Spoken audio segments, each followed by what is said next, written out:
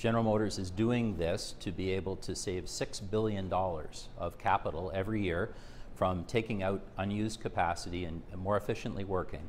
And with that $6 billion, investing in electric cars for the future and self-driving cars for the future, which will radically change our cities and uh, will uh, really bring us much towards our goal, which is a world of zero emissions, a world of zero crashes.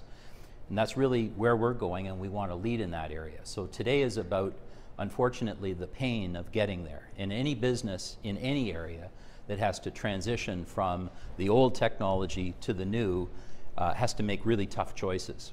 Um, you can't just continue to do things the traditional way, internal combustion engines, and uh, the things that we've done in the past, and expect to be successful in the future.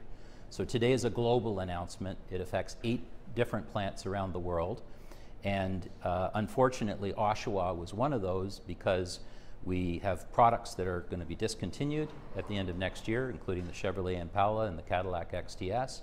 And we also have been running at very low capacity, which has made it very, very difficult to justify this plant moving forward, along with the other eight that are identified today as being unallocated for product in the future.